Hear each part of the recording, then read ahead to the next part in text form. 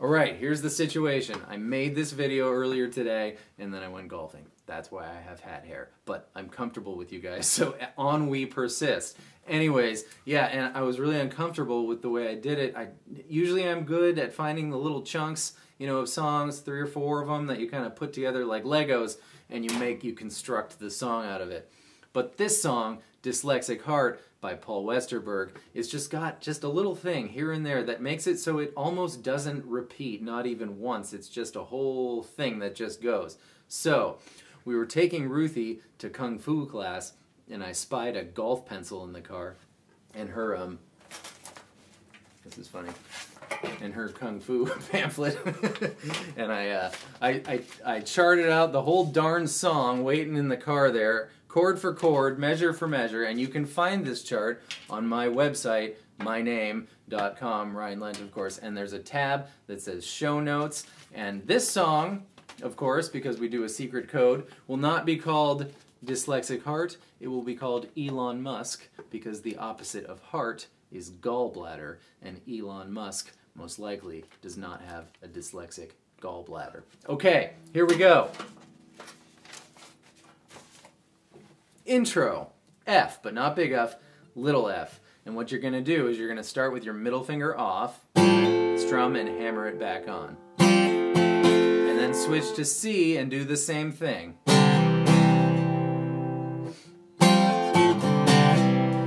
The second time, it happens a half beat earlier, so your strum on the F with the hammer on is going to be an up strum.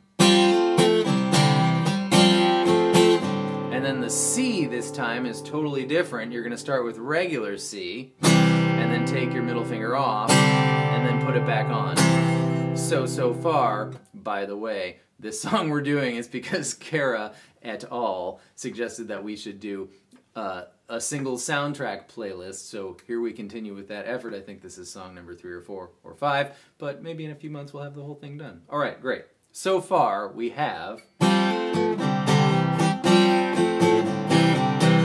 The third time is the same as the first time.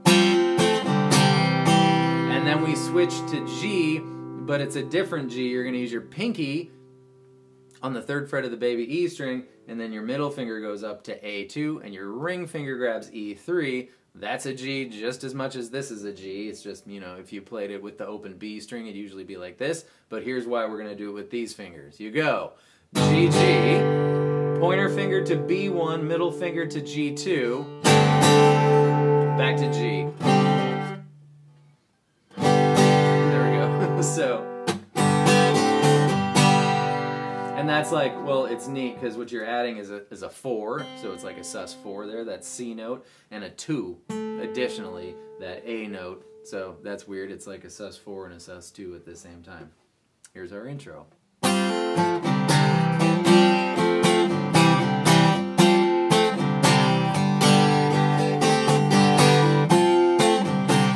That's how you do that. Great, now let's start going through the song. So, we do that three times.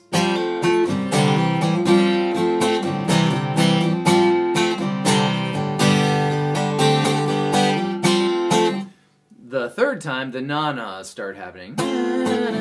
You can kind of, if you're singing it, it's sort of hard to do the hammer on, so just play the regular chords, especially if you're sitting around a comp, a, a campfire, or a campfire, or a coffee table. Campfire being the uh, combination of campfire and coffee table. You,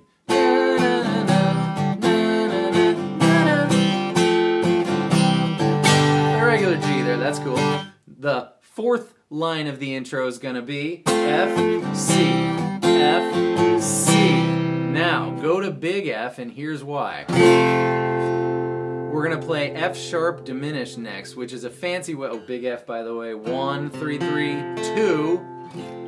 F sharp diminished, fancy way of saying that the, the bass note of the F moves up to F sharp. You end up with an F sharp chord with a flat fifth and a flat third, although we're not moving this root. You could be really fancy and do that too. So you got F, move that one up, move the pinky up. Doesn't sound like much by itself, but it's, or you could just not do that and really just emphasize that bass note. Doesn't sound like much by itself, but it's the chord that slides from F to G. Here's the, see if I can do it the fancy way. Great, we're into the verse. F, C. So hard to read. F, C. Same as an intro. Second line of the verse. F, D7. All the D's in this song are 7. D7 is pointer finger, B string first fret, G string second fret, baby E string second fret. Is this your name or a... And then I like G7. That's three, two, one. Uh, you could play G there if you want. Doctor's eye chart. Is this your name or a doctor's eye chart? The first chorus. F, F, G, A minor. And then we do nanas. F, C, F, C. And another little chorus part. F to offend you. A G, A minor. And now comes our second intro. F, C. It's just like the first intro.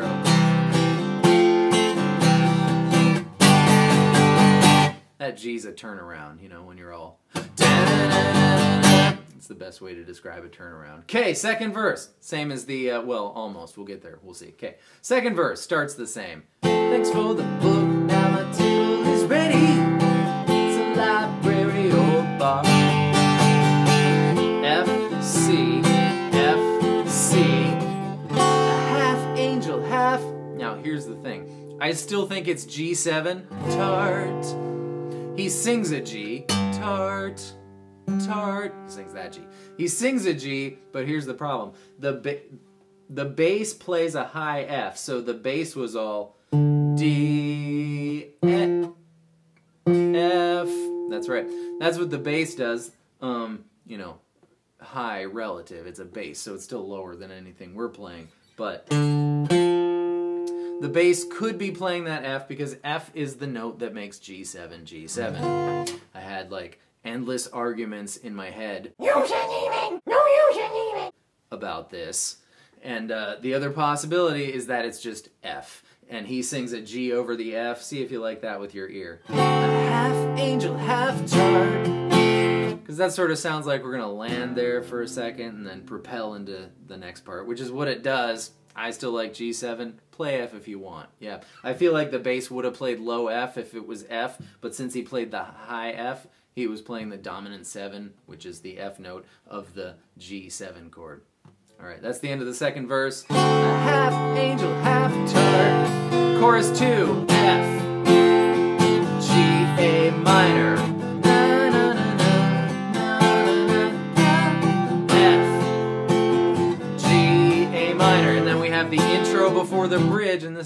things that it's different every time. There's no G turnaround in this, so it's just F, C, F, C, F, C, F, C. Before, do I read you correctly, which is this part's really neat. D7, E minor, F, E minor, D7.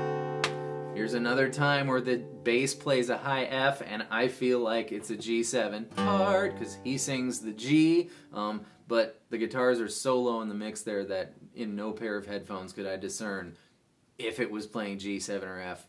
I think it's G7, might be F.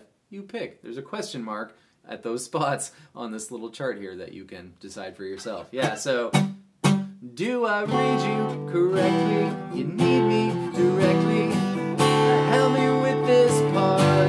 Chorus 3 F, F, G, A minor, F, C, F, C. And now we're You Keep Swaying. G. What he is saying, that's F. Think about staying, but you keep A minor. And you can do this signature move here to F. signature move. Let's go from the top of that. You keep swaying. What he's saying. Wee, wee. Think about staying. Here comes, but you keep A minor, F, E7, G.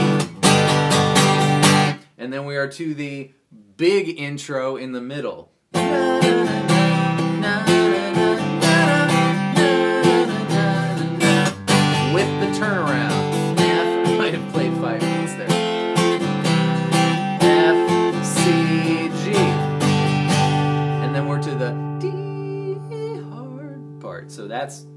the the structure of which there's a lead guitar doing something there, um, but the structure of it is just an intro with the turnaround. So.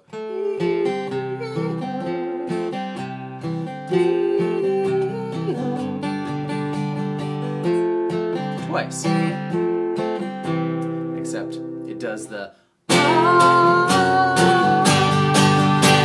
and then this is another reason because now Are You Staying, um, which should be musically the same part as uh, Are You Swaying or you're, you keep swaying, right? Uh, but so this now bridge bridge B, it's the second kind of bridge in this song. Instead of G F G, it goes F G F. Uh, hints that Paul Westerberg is a very, very purposeful, meticulous, intelligent songwriter. So again, hats off to you, Mr. Westerberg. Anyways, are you staying in F? G F and then we do our A minor F E or E7 could be either doesn't matter G turn around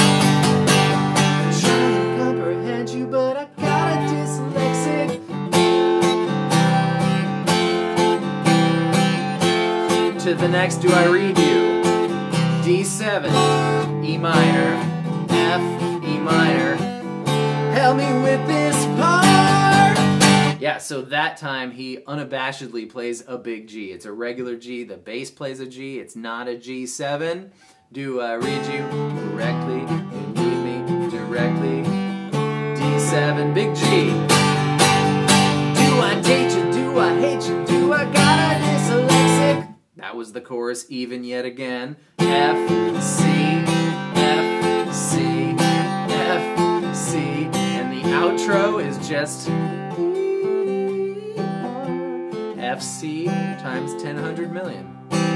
And that is how you play Dyslexic Heart by Paul Westerberg. I think that was okay. I'm not going to redo that. Yeah, um, there was no really good representation of how to play that song anywhere. Um, so it has been an honor to show you how to play that song, and I hope that that was helpful. And I hope that you go get this because it's going to be impossible to remember otherwise. Like I said, it's just a big pile of chords. It's not like a neat little riff and then you do like four chords and then it's the neat little riff again. It's a giant pile and it's a little different every time. But yeah, so I'm going to stop talking now. And thank you for being here, and I will see you next time with more stuff.